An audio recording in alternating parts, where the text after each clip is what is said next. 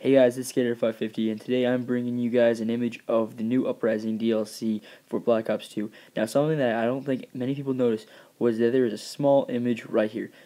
You can basically see the uh, the top of the scope and you can see the, like a slight barrel, you can see the stock of the gun, and you can basically make out a small trigger guard. I believe this to be maybe a slight chance uh, for there to be a new sniper rifle DLC. Maybe Treyarch is trolling us right now, but we do not know for sure. This is a blurred image can't really see what's exactly going on. We'll just have to wait until April 16th to find out. Hope you guys had a good one.